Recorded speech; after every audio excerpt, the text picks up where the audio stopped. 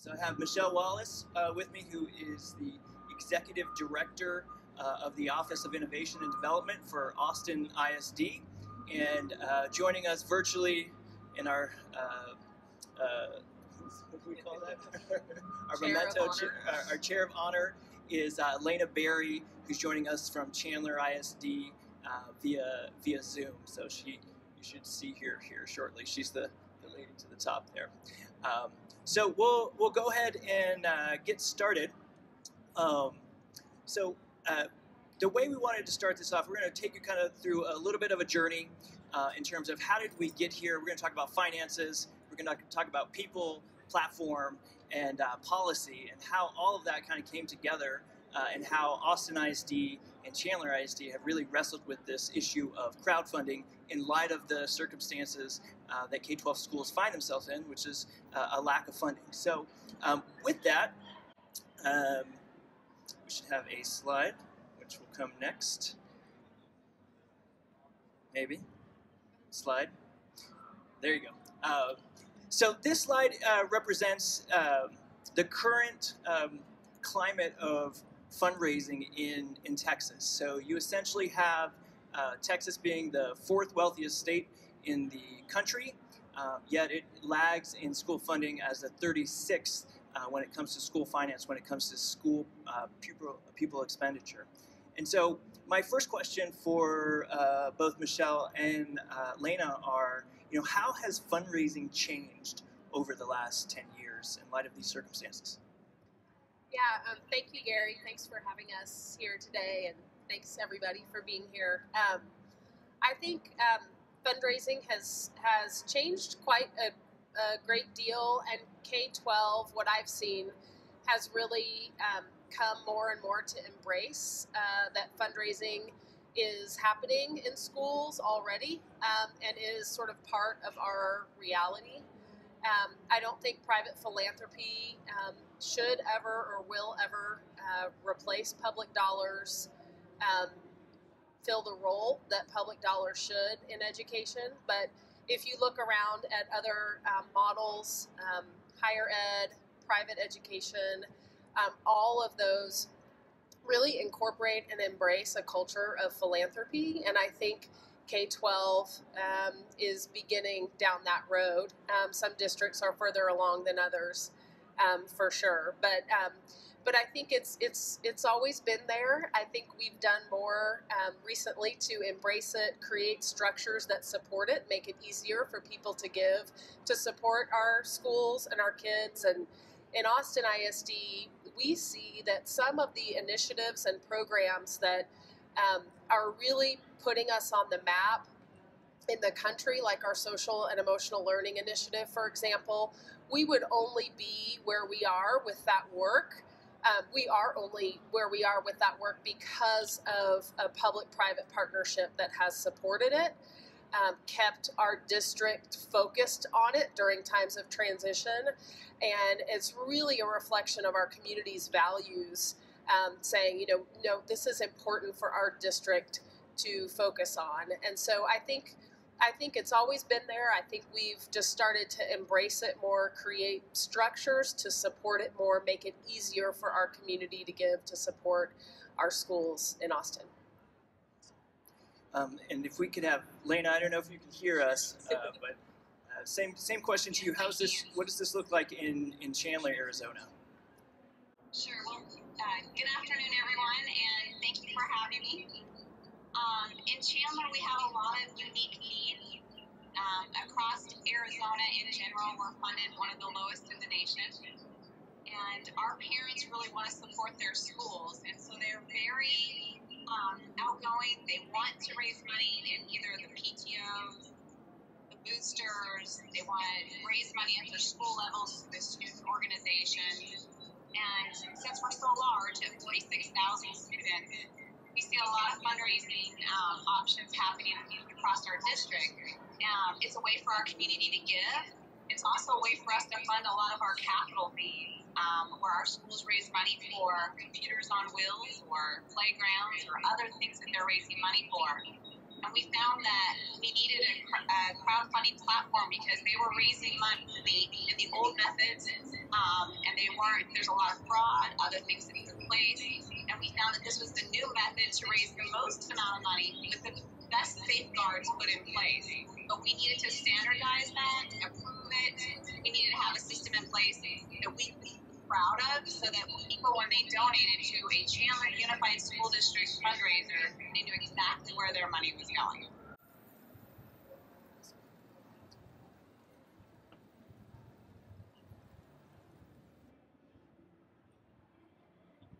Um, Elena, we have a special request from our uh, audiovisual folks. If you could uh, either mute your computer or your phone, um, I think that would help the audience hear you a little bit better. So thank you, thank you for that. Um, one follow-up question for uh, Michelle, since we are in Texas, um, and I don't know if you guys have been following um, what's going on with Austin ISD and next year's budget. I think I, I read that there's a um, you know, per the Robin Hood laws, there's 750 million that will be taken from Austin ISD and kind of redistributed around around the state. That's one way to say it. Yeah. Um, who here is from Texas? Anyone? Okay, so lots of Texans in the room. So, yeah, I mean, Austin ISD is the largest payer into the recapture system. Um, I think our anticipated payment next year is $700 million. We're a property wealthy district, but we also serve over 50% of our students are on free and reduced lunch. So um, the, the formula doesn't work so well for Austin. Um, we're hoping for some relief from the state uh, right now. They're in, in session. Um, but I think what I come back to is, um, you know, what I mentioned earlier, some of our signature programs and things that we're most proud of as a community, I think have been supported by um, philanthropic giving as well as local tax dollars. Um, and I think that partnership is critical. Um, as our Senator Kirk Watson said in our um, Education Foundation, our Austin Ed Fund event this year. You know, the, the state finance formula does not serve Austin well. And the reality is, we would be raising money for our schools anyway, and we should be. So I think that's I think that's key. I think we can get sort of um, just really depressed about the school finance system and and just sort of feeling like we're not. The, reality is, philanthropy could, could not, should not fill the hole. Um, but what is the role? And and I I kind of put that in two buckets. Um, innovation and enhancement. I think private philanthropy can really help schools and school districts um, work in areas of innovation and then areas of enhancement. So, for example, um, in my previous role, I worked at the Ann Richards School for Young Women Leaders here in Austin. Um, we had a college advisor for that school, and the school's goal is 100% of those girls will go to colleges. Um, the college advisor is a position that's at every single AISD school, so every school has access to that.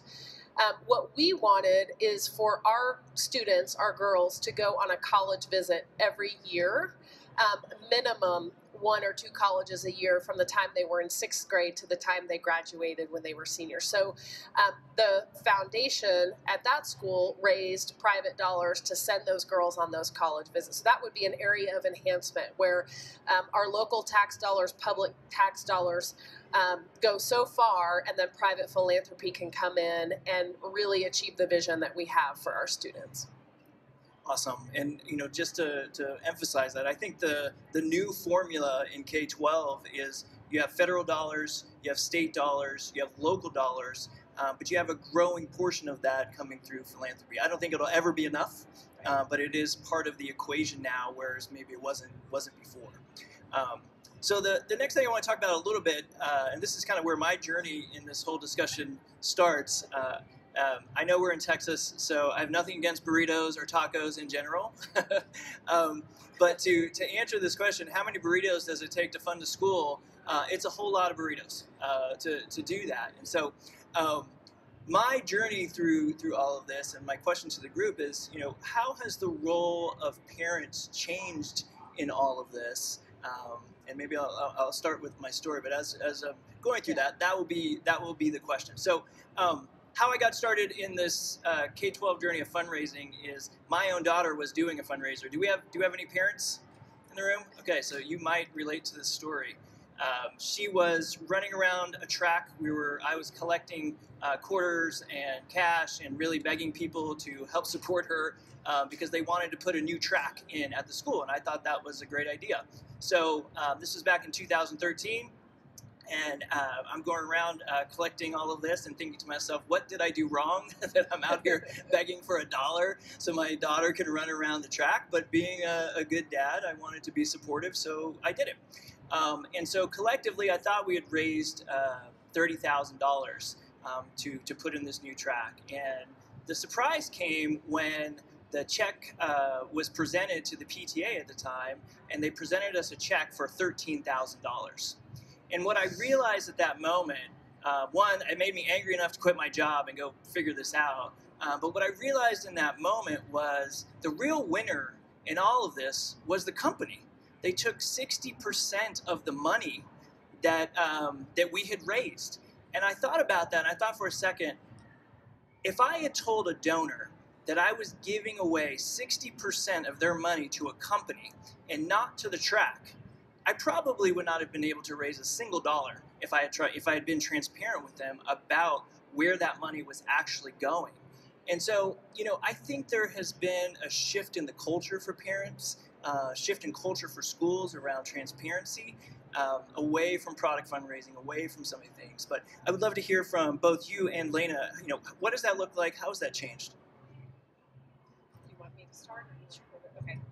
Um, well, I think I think from our perspective, um, we want to make it easier for parents to engage um, and give.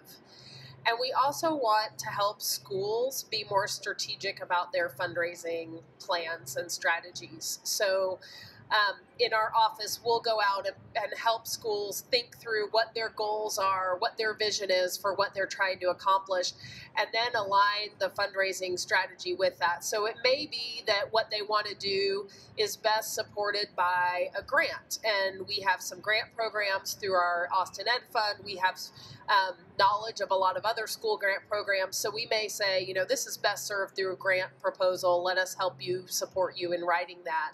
Um, many times, crowdfunding is a great strategy for it, and um, and we work with Gary and his team to support our campuses in crowdfunding strategies um, to support their um, efforts. You know, sometimes it's going down to a local business and asking them to sponsor an event.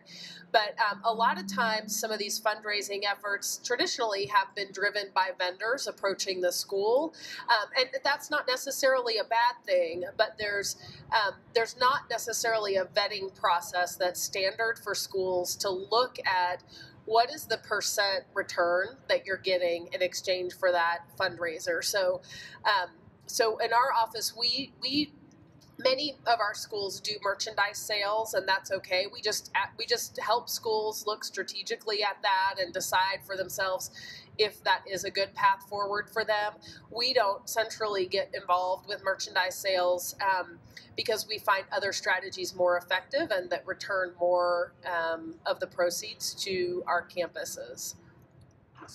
Um, the other thing i'll say to all those parents out there um, you want nothing more sometimes than to just get some points with your kids. And uh, I think you know schools sometimes make that can make that difficult. So online is a place where parents can participate, regardless if they have to work um, or, or, not during the, the time of the fundraiser. I, I, remember looking at some of the opportunities that were to go support my son, and they were Tuesday at two o'clock. Um, and there was no way I was a single dad at the time. There was no way I was going to make that that fundraiser. But if there was an opportunity to give online, I would have participated. And I feel like sometimes the, the school probably wrote me off in terms of my wanting to participate, and it really wasn't a uh, lack of wanting. It was just no facility, no way for me to actually do that. That was, you know, uh, able to fit into my life, which uh, online would have would have done that for me. So as you're thinking about this, I don't know how many educators we have or people from districts, but that is a growing component of this for for parents.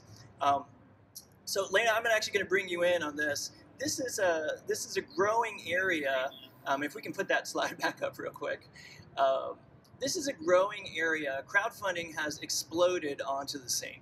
Um, 10 years ago, maybe you had one or two teachers that had done a fundraiser uh, online. Now you have, you know, depending on your district and district size, you can have 20 to 30 percent of your teacher population that has an online campaign. And with that has come some unintended consequences for, for the district uh, because these fundraisers are part of that district. And, and so um, we're going to talk a little bit about that. And I think there's, there's some regulatory things, but there's also um, Michelle, I like you the way you put this. Ways that we can safeguard everybody, including including teachers. Um, but these are some of the issues that are at play, and I'd love to just chat about some of those for a second. And uh, if we can bring uh, Lana back in, um, this is where Chandler really really started down this path. Sure. So we had a lot of issues when we actually looked into this.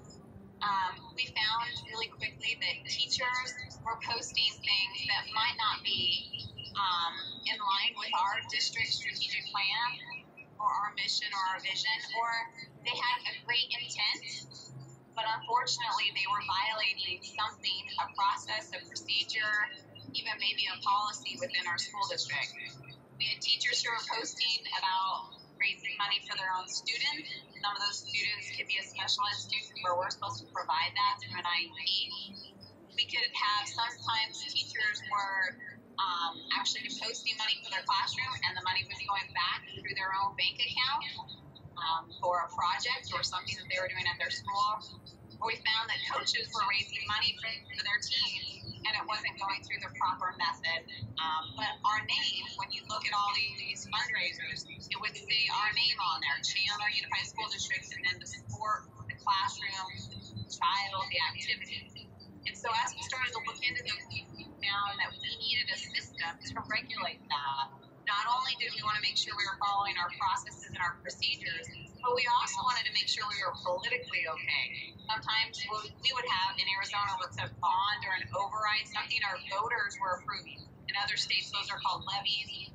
And sometimes the message that's out there is, hey, we're asking for money, but then we're posting for money. So we want to be really careful with what our message is related to crowdfunding, and we want to make sure that it all aligns at the same time. But not only do we need to make sure that we're following processes and procedures, we also politically needed to make sure that what was posted out there didn't hurt or damage our district or our schools. It's super important to look through all, all that. If anything, I always tell schools, be careful. Know what you have out there. Principals know what's out there on social media know if you're following those processes and procedures, and if not, start to look at it. Every school district has a fundraiser procedure, but not very many school districts have crowdfunding procedures specifically. So you want to be careful with that. You want to start to dive into what do you have in place and how can you align them for your district so, so that you can raise money for your uh, for your school in a different avenue, but you know you're protected.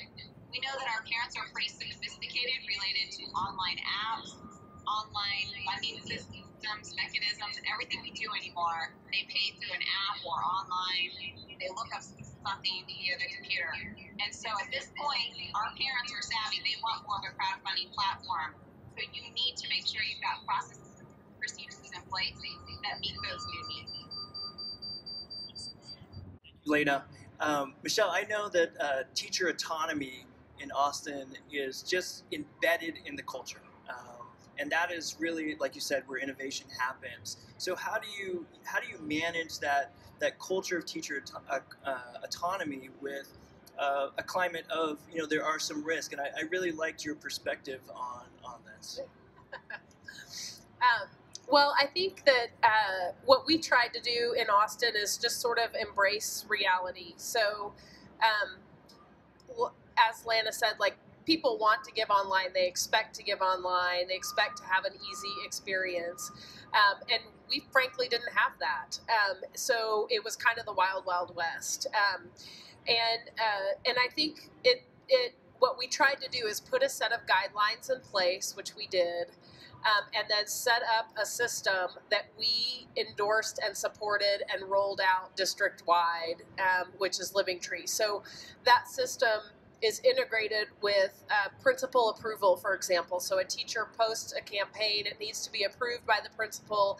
The, on the back side, the finances are linked with our bookkeeping system. Um, and then it, it all loads into our, our donor database, uh, which is Salesforce. We have tax receipts that are automatically generated for our donors. Um, and we're able to track and report all that and then provide stewardship for our people who are contributing. So um, I think we've been able to put some structure and guidelines in place that help encourage teachers to do more of this and foster that innovation, but within a process that um, it provides them some structure and also provides them cover. I mean, we I think we we have campaigns, we have had campaigns that are going directly to teacher individual bank accounts, and I think. Um, you know, I think that puts a lot of burden and responsibility on a teacher um, when that's not necessary. So I think having a system that's aligned with the district um, procedures and protocols, and you know, when we started down the road, I think there were a couple of voices in the district that just were like, no, no, no, no crowdfunding, we can't do this at all, and um, we had. We, we were very strong and kind of coming back and saying like this is reality and we're missing the boat if we can't create our systems and process to support and even encourage this to happen in our district. Awesome. Thank you. Um, so we're gonna we're gonna get to the fun part at least. That's that's all the compliance and regulatory stuff and some of the issues which you know if you get anything out of this talk I, you know I hope you know no matter where you're at in the spectrum that awareness. You got to be aware, right? So start there. Find out what's out there in the district's name. Let's find out what's out there in your school's name. Um, but when this starts working, um, and Austin has done an amazing job of this, and Chandler right behind them. Uh, you know, some really cool stuff happens. At the end of the day, uh, this goes to support kids uh, when you do when you do it right. So Michelle, what did this what did this look like for you guys as you have gone through this process, and then what are some of the effects that it's had on your community? Right. Well, um, I think one of the things that was really important to us is to have a platform that was um, accessible by all of our campuses. So we have about 130 campuses, 80,000 students, 11,000 employees, and um, the the history was that you had certain schools that were really adept at fundraising and development and had online tools and had all kinds of um, you know almost professional fundraising operations going on at those campuses and then you had a whole lot of other campuses that didn't have those resources and have access. So we wanted a platform that was available to every single one of our campuses. And when we set it up, we set it up and still exists to this day. Every single one of our campuses has a fundraising page um, that just exists and set up, and campuses can use it um, as they want to receive donations. And then from there, campuses can really take it and grow it. And this is an example. So this is um, this is Austin High School. Um, Go Maroons, if anyone's here from Austin High School. Um, and these are a couple of examples of, camp, of campaigns, um, individual classroom campaigns, a memorial scholarship campaign that that campus did, and then a Back the Track campaign that is about renovating the track um, at Austin High School. So you can see just a variety of different projects um, that have supported that campus that are responding to the, the needs of that campus. And we have several examples of that. And then I, are you going to go to the next? I'm okay. Gonna, yeah. We'll bring uh, Lana in. Uh, Lana, you know, I know you guys have also, you know, uh, Austin did this about three and a half years ago. Um, Chandler's at the front end of this process. What what did that look like for you guys? And then let's let's talk about those specific campaigns. And Gary, can you repeat that question one more time? Sure. So as you went through this process, it, the first part was awareness. Um, and then as you started to implement and get the right things in place, what did that what did that start to do for Chandler and the community? So I'm gonna. I apologize. I'm gonna turn down the speaker, so hopefully it's a little bit more clear. So we um, we started looking at our process a, a couple years ago. It's, it's been about a year and a half, and um, we found really quick, quickly that we had a board policy on fundraising, but we didn't really have any mechanisms on crowdfunding. And so the very first thing we had to do was we had to look at our policies to make sure that we had board policy to back what we were doing. Then the second thing that we started looking at was what were our procedures what were our internal procedures and what did we allow? Um, at that point, we created some of our own guidance on that, and then we started to look at what tools. So a lot of people were using different tools. They were using SnapRaise, they were using FundMe, they were using other tools, um, DonorsChoose. We had a lot of different procedures in place. and we had to come, we had to start figuring out what were those processes and procedures, and then how we educate everybody on it. So we started to educate all of our principals. We had them go out and look. We have 45 different schools. We have 46,000 students. So we had everybody kind of take a look at what was out there, and we started to put in some practices in place that could help guide our principals in our schools. And then we actually did an RFP once we decided the tool that we wanted to use. What kind of tool we needed? We knew we needed a platform of some form to help us with guidance, with uh, the approval process, with accounting for the dollars that came back in. So we started down that path of reviewing and looking at different products out there across the nation that would meet our needs here in Chandler. And then once we got through that, we had to actually train all of our staff on that. We had to train our schools, but we also had to train our boosters and our PTOs because a ton of the money gets funneled that avenue too. So it wasn't just our schools, but it was also our 200 boosters and uh, PTOs at that point. So it all begins with looking at your policy, then at your procedures, then at what are your current practices that are taking place, and how can we define what those practices are and write rules around them, and then educate and train everybody on them but also it's not just pushing it down their throat. Why they're not, you have to explain why it safeguards them, protects it. It also helps us make sure we're in line with what we call the uniform system of financial records. So we're matching all of our guidance. We also got attorney advice, and we also went to our auditor general and said, hey, can you look at this because we believe there's going to be a lot of fraud in the future. How can you help us protect against this? So we tried to get a lot of different people involved to make sure that we were taking the right steps and that since we're a leader in our state, we wanted to make sure we were doing things right so we could help other school districts in the future too. A lot of different steps starting from policies to procedures to then training and implementation. Now, we're not perfect. We have a lot of room to grow and we're going to continue to get better, but we need, you need to take the first step by just looking into that process to begin with. Otherwise, it's just hard. It kind of snowballs on you. So you want to make sure you get going with it, even if it's baby steps and you're only at the very beginning. Just know that you need to start to implement something because this area is going to grow and grow. It's the new mechanism uh, for people to raise money. Um, parents love it. They don't want the old forms of fundraising. I have four kids of my own, and I hate going door to door to sell things. There are still a lot of fundraising mechanisms in that arena, but a lot of people are utilizing this to their major you and I, I, I don't know if you can hear it, but you're competing against a party that has already started. so sorry uh, about that. So we'll just go quickly. We've got a couple minutes left. I want to talk about just two campaigns that Austin has done that I think is just absolutely awesome, and just the power of this over time as you guys have grown your program. I think has been incredible. Um, so, in addition to um, putting this out and training um, campuses and encouraging them to use this platform and use their networks to, to reach out.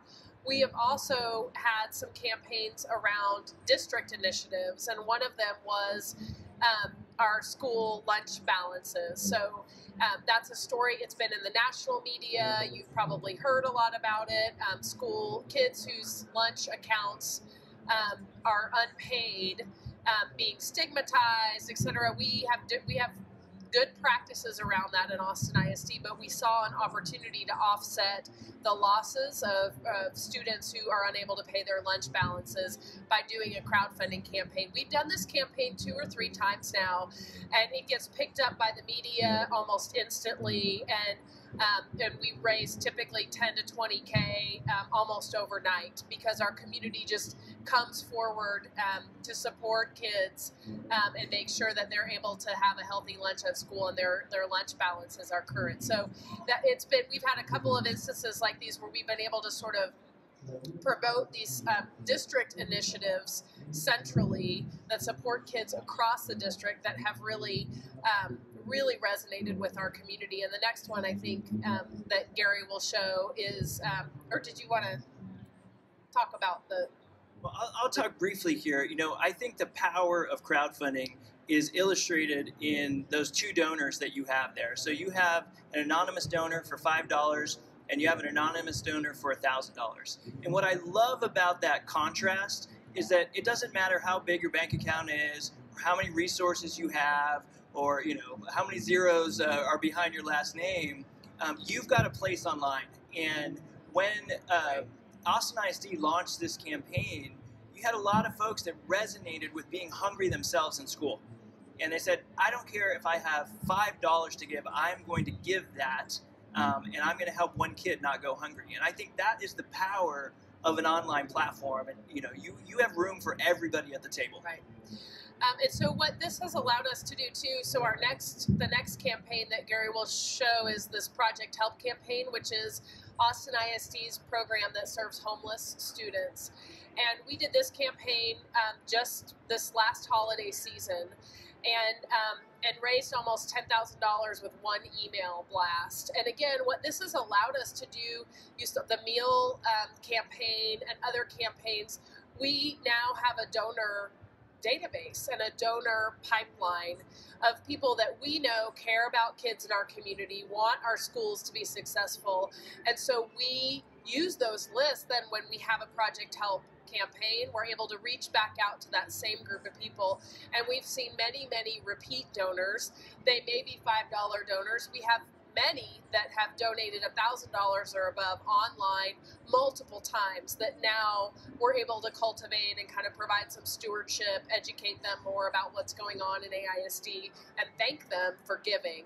So it's been a it's been an amazing opportunity to do campaigns like this too and our project help coordinator is like beyond grateful she was able to actually keep several families housed over the holidays because of this campaign and we were able to get those funds to her program in enough time to do that. So um, just a couple of great examples of how this platform has been able to work for us and crowd we've kind of really embraced crowdfunding Awesome. And when I got that email, because I got the email, I was like, "This is this was the dream." I got it on my phone. I clicked the button, I gave, and I was done in three minutes. So thank you, um, Gary. you're welcome. um, so we're just gonna. If you guys have want more information on this, um, we have resources from both Austin ISD and Chandler available. Um, so we've got a QR code up there if you just are old school and want to write this down. Uh, it's learn.livingtree.com. Give together. It has the policies and procedures that Chandler's put in place um, to govern their crowdfunding um, in the district, and, and, they're always a great resource. Obviously, Michelle's here, uh, Lana, and Chandler. So thank you so much. I appreciate you taking the time uh, with us today. Thanks again. Thank you.